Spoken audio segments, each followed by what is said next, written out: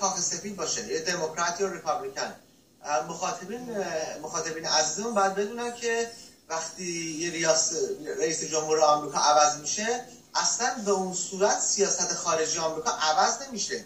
یا سیاست خارجی آمریکا اصلا رفتی به قوه مجریه یا مقننه نداره. اینا سیاست آمریکا در دست لابی های خیلی قوی هست که واشنگتن رو می‌چرخونن و تو خاور میانه تو آسیای غربی که لغت واژه درستش هست در واقع اینا میگن خاور میانه تو آسیای غربی به اصطلاح لابی که سیاست آمریکا رو می‌چرخونه دو, دو ارگان هستن. یکی Council on Foreign Relations هستن یا به نام CFR و لابی بعدی که دوتاشون در واقع لابی صهیونیستا هستن و لابی دوم لابی ایپک هستش. و اینا هستن که خط میدن به به وزارت امور خارجه و حتی رئیس جمهور آمریکا که چجوری اینا باید برخورد بکنن. برای همین من فکر می‌کنم این مسئله اسلام پرستی که الان داره خیلی بیان میشه از طریق آقای ترامپ و آقای تد کروز و آقای مارکو روبیو اینا همه جز یک دستیسه و جز یک به اصطلاح نقشه دراز مدت بود که اصلا بزنن تو خود بیخ اسلام و هدف اصلی اینا از حمله کردن به افغانستان و عراق در واقع ایران بوده.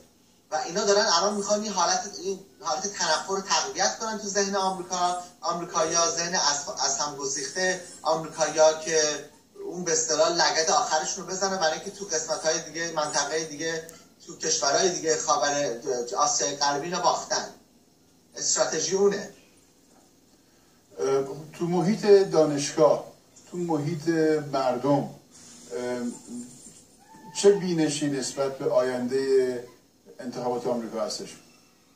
حالا تو بستگی داره توش قشری. تو جوون ها که ما باشون کار می‌کنیم بین 18 میشه گفت تا مثلا دانشجو دکترا که هست حدود 40 سال طبیعتا هر چی تحصیلات و معلومات و علم بیشتر بشه انسان ها بیشتر ضد جنگ ضد خشونت ضد هژمونی ضد امپریالیسم ضد colonialism ضد صهیونیسم ضد کاپیتالیسم به اصطلاح aggressive هستند برای همین بین جوون ها الان خیلی طرفداری به طرف آقای برنی سندرز هستش که ایشون رقیب خانم هیلری کلینتون تو حزب دموکرات هست. با اینکه ایشون یه شخص هستن independent هستن دموکرات نیستن و حتی خیلی با اعتماد نفس کامل میگن سوسیالیست هستن.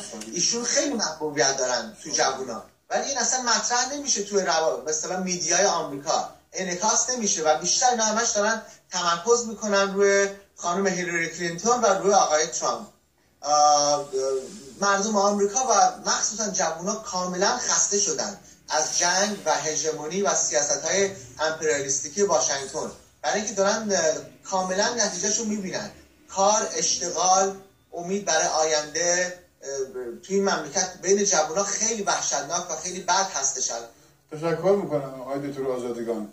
ما الان به شما زحمت نمیدیم. اگر فرصتی بود باز خدمت شما خواهیم چشم من در خدمتم.